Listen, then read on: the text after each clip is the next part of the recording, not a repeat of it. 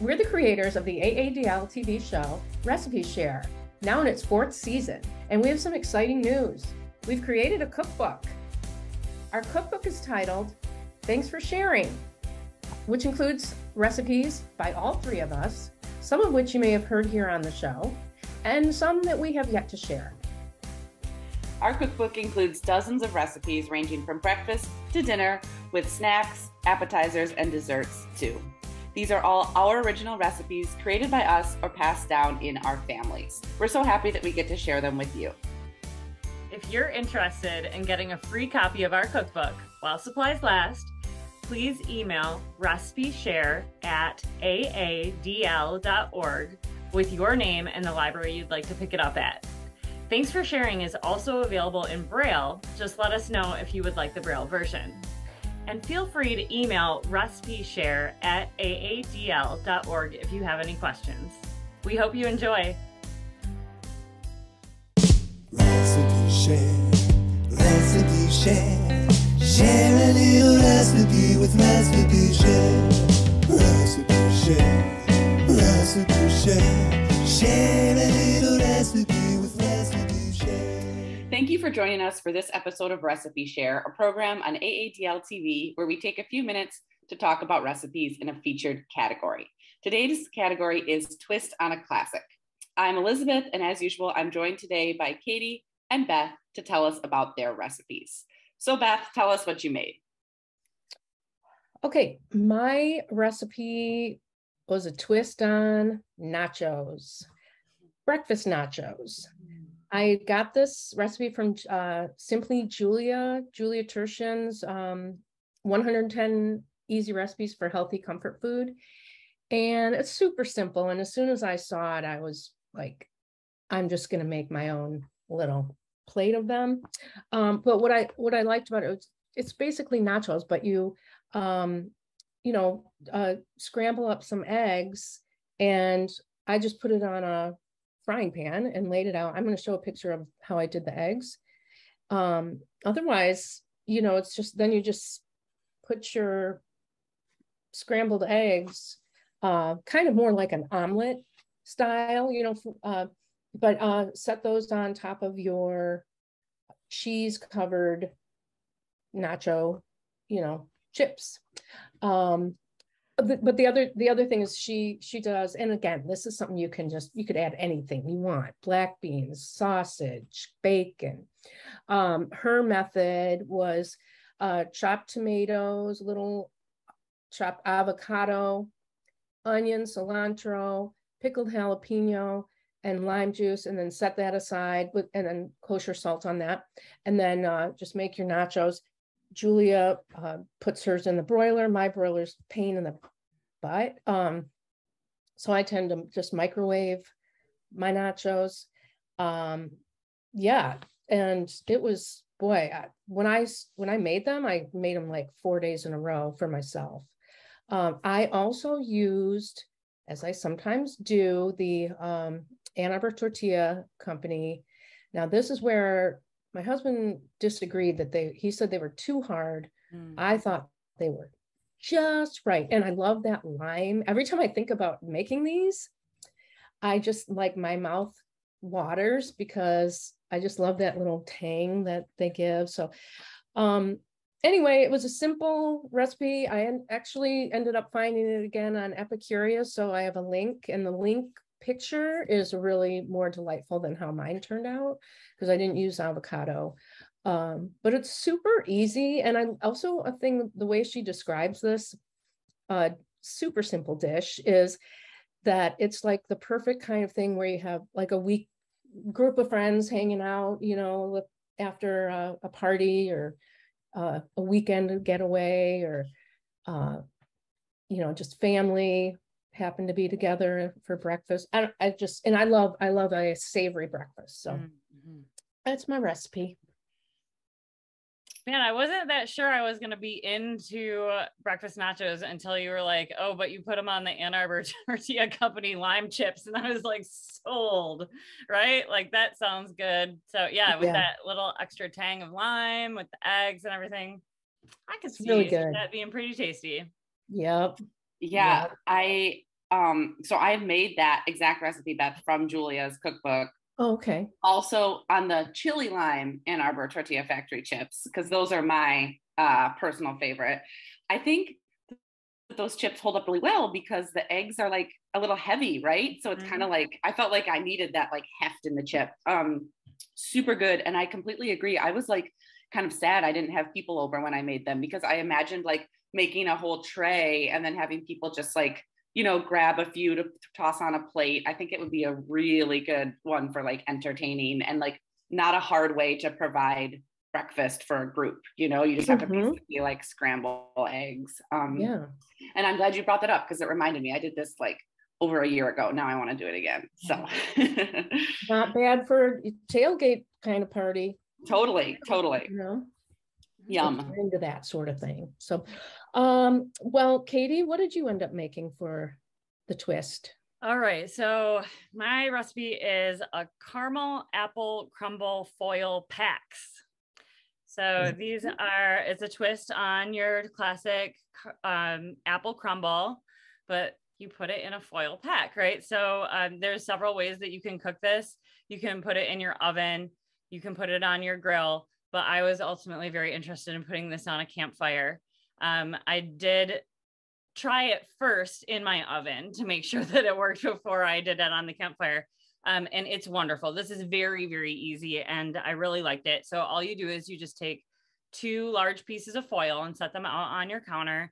And then you're gonna um, take your apples chopped up. She doesn't, oh, this is from averycooks.com and she does not peel her apples. I like apples peeled. So I peeled mine. I used gala apples. So those are smaller. Uh, she, so she used two medium apples. I ended up using four of the gala apples for this recipe, which serves four, but I would say serves two if you're real hungry. Um, and you're making two packs that serve four. So, you know, keeping that in mind. What you do is you make your apple layer first, and it's just your apples, some butter, brown sugar, regular sugar, cornstarch, cinnamon, nutmeg, cloves, and you mix that all together and you lay it out on your foil.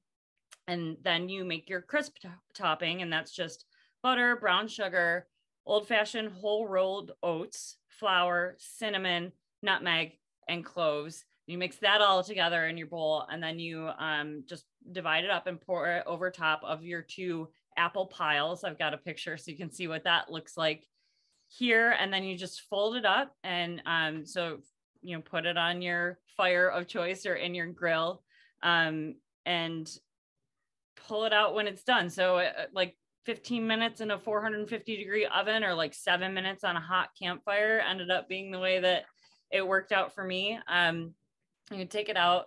It looks super lovely. And uh, the suggestion is that you serve it with caramel sauce, which I used store bought both times I made it, but there is a ingredient that Avery cooks uh, or a recipe that Avery cooks includes in these ingredients. So I will put that in the link so you guys can see if you if you feel like making your own salted caramel sauce for this, you can. Um, I really didn't think it needed caramel sauce because it's very sweet as is. So for me, that actually wasn't even necessary. I didn't use it the second time I made it.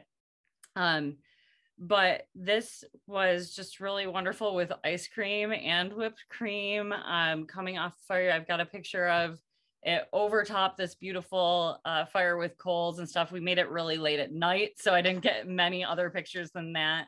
Um, but I would definitely suggest doing this. When I made it uh, for the campfire, we were up north, so I had made it here in Ann Arbor, put all my packets together and just put them in the cooler and didn't pull them out for a couple days until we were ready. So uh, it, that was a wonderful way to transport dessert and not have to deal with it when I was in a cabin in the middle of nowhere. So I love this recipe and you guys should try it.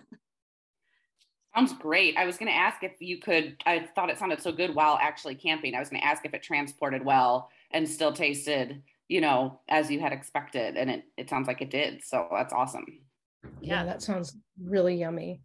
Can't Yep. wait to uh bring little kiddos camping for something like that. oh But, it- yeah, but anyway, yeah, even Yep. without that, sounds that was good. really good. What does the texture of the apples end up like? So it's they're soft. Okay. um, and it does it end up tasting with the oats and everything and the topping very much like a crumble. I wouldn't say like a crisp because it doesn't get very crispy, but it's very soft texture to it. Cool. All right, Elizabeth, what's your twist? Okay, so this is interesting. My recipe's on my phone because it's from New York Times Cooking. So I have it on the app here. So I don't know why I did this. I was thinking like twist on a classic, and I just wasn't coming up with what classic I wanted to do. And now that I've heard both of yours, I'm like, oh, I could have done anything like twist on pasta salad, twist on, anyway. I did a twist on a traditional Taiwanese recipe um, that I found in the New York Times Cooking. This is called Three Cup Chicken. And this intrigued me because it says, um, the intro says, ask 30 people how to make this traditional Taiwanese recipe and you will, receive 30 different responses. So I think there's a lot of different um, like family ways to make it and like, you know, regional ways. Um, and anyway, so there's a, there's like a folk recipe and it says like debates rage, blah, blah, blah, blah, blah. So anyway, I used um, the recipe from the New York Times, which is a certain take on this like traditional recipe that's been around for forever. Um, okay, so it's called three cup chicken. Um, it's very easy. Uh, you have um, you put three tablespoons of sesame oil in a. It calls for a wok. I don't have a wok. I just used a big skillet, um, and then you add um, a two to three inch piece of ginger that you've sliced into coins. Um, 12 cloves of peeled garlic left whole, four whole scallions that you've trimmed and then cut into one inch pieces, and then um, some dried red pepper flakes. And you kind of let those, the aromatics cook, it smells really good for a few minutes. And then you have um, two pounds of chicken thighs that you've cut into bite sized pieces. So you toss those in, um, let those cook for a few minutes, and then add um, a tablespoon of light brown sugar, half a cup of rice wine, a quarter cup of light soy sauce. And it kind of, um, you bring it to a simmer and then just let it simmer. It says it takes about 15 minutes for the sauce to start to thicken. Mine was not thickening at all. Uh, it was still like fully liquid. So I tossed in like a tablespoon of cornstarch because Mhm. I was just like, this is not happening. And that worked right away. And actually, some of the comments on the recipe were like, I put in a tablespoon of cornstarch. So obviously, I was not the only one who had that issue. Um, so then it comes together into this really beautiful sauce. Um, and you, you're supposed to serve it over rice, which I did, and then um, top it with um, a, a bunch of fresh Thai basil or regular basil. Um, so it looks really good. I have a picture, or sorry, it doesn't look very good. It's like sort of brown. I mean, it's just like a brown, like chicken, you know, it's not particularly colorful, but I have a picture here of it in the bowl over rice, but it was delicious. Um, the flavors were super, super good. Um, I have another picture here of it with the basil, but I wanted to show both because the basil kind of obscures what it looks like. Um, it took not very long and it was so easy. Like the hardest part was peeling 12 cloves of garlic, honestly. Um, and um, my friend actually made it at the same time, and they had some trouble with the sauce thickening as well, and didn't have cornstarch, so they they they were a little bit sad about that. Um, so I would definitely recommend making sure you have cornstarch to help with that. Mhm. Um, yeah, it was really good. I would make it again. Um, you know, maybe like I could see myself next time throwing in like maybe some cabbage or something just for a little more texture because there isn't a lot of crunch. It's pretty like soft by the time everything has cooked for so long, and the rice is soft too. Um, or maybe serving it with like a side of like slaw or something. Um, but I I liked it, and um, I think a lot of other people did too because it has five thousand seven hundred eighty-six ratings, and the rating is five stars. So it's a, it's good. I would uh, I would recommend it, and that's my my twist on a Taiwanese classic. So That sounds amazing. Yeah, it sounds really, really good and really simple, like a like something you can totally make for dinner. on a total weekend. weeknight dinner for sure, for Yeah. sure. So And yeah. love all that garlic. Yes, the garlic and the ginger and the sesame oil. And seriously, my stomach is growling. Like I, that sounds so good. I cannot wait to make it. yeah, That's super awesome. easy. I would be interested in trying like it from a Taiwanese restaurant or something just to see Mhm. how Yeah. other other takes on it. Um, but you know, this was it was good. So what is the name? Oh, you said three cup. Three chicken? cup chicken. Um, I think that comes from because the recipe, apparently the folk recipe, that's what the New York Times calls it, calls for making a sauce with a cup each of sesame oil, soy sauce, and rice wine, which is a lot. So yeah, I you don't need that much. yeah, that's- yeah. Wow. So, three cup chicken. Sounds really yummy. Mhm. Cool. Well, if we have no other comments, I will take us out by saying thank you for watching Recipe Share and be sure to click the link below to look at the event page on aadl.org to find the recipes we talked about and share your own in the comments. Make sure to join us next time on Recipe Share. We're looking forward to seeing what you've been making. So thanks for sharing. Recipe share, recipe share, share a little recipe with recipe share.